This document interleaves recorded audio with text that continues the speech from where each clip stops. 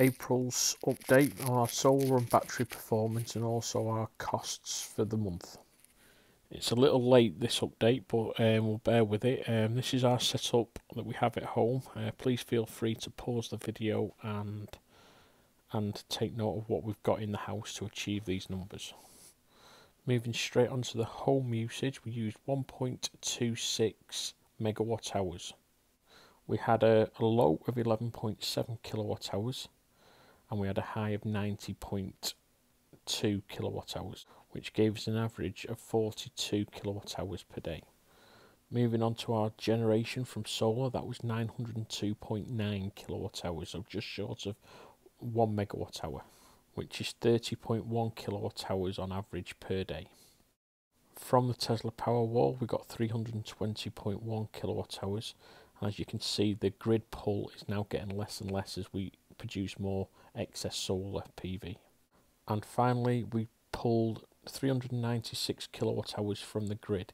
It's also worth noting at this point as well, the first five days of the month we were actually on holiday, so um, the numbers may look a little bit low at the beginning of the month.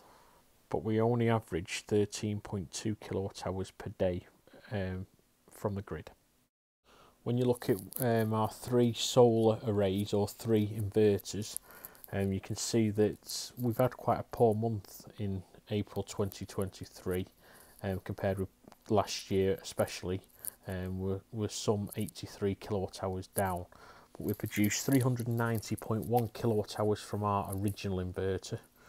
We produced 383.3 from our second inverter which is also 3 kilowatts and our small 1.2 kilowatt peak low level array produced 129.5 kilowatt hours. That's 902 kilowatt hours in total. Moving on to our running totals now, we've now done 2,303 miles this year in the two electric cars. Um, we've now we put in 159.1 kilowatt hours into the cars in April, and 95 of them came directly from the sun or solar charging. Um, so we've had a cost of £63 and 31 pence so far this year to do them 2,303 miles. And we got six days of grid free um, running, and that was when we were on holiday at the beginning of the month.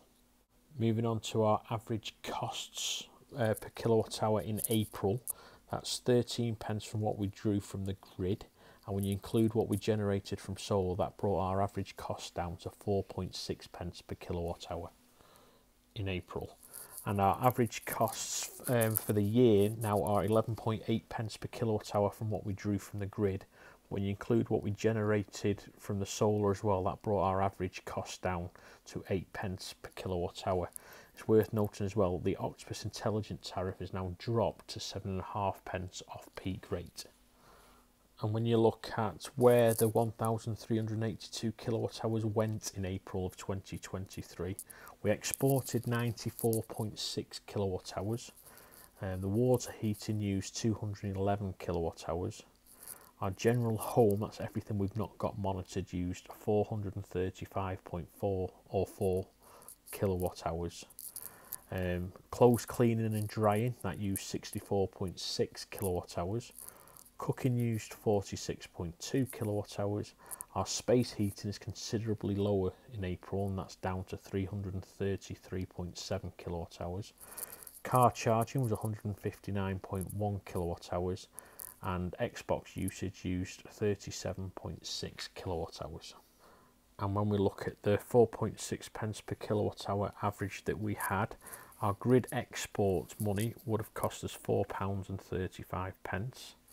our water heating cost us £9.70. Our general home was just over £20 at £20 and a penny. Uh, clothes cleaning cost us £2.97. Cooking cost us £2.12. pence. Our space heating was £15.35. pence. Our car charging was £7.31. pence. And our Xbox gaming cost us £1.72 pence in April. And finally, to summarise up until the end of April 2023, we've been grid free for six days. We've done 2,303 miles at a cost of £63.31. We've imported 5,481.3 kilowatt hours. We've generated 2,026.1 kilowatt hours. So that's a total electrical usage of 7,507.4 kilowatt hours. The electricity cost has been £640.31 pence, and it's worth mentioning we don't have any gas at this point as well.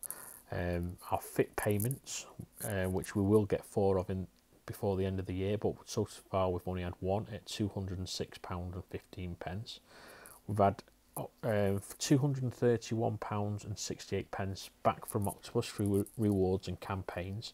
We've got a balance of £202.48, pence, including VAT and daily charges, as our running total of our energy costs so far in 2023.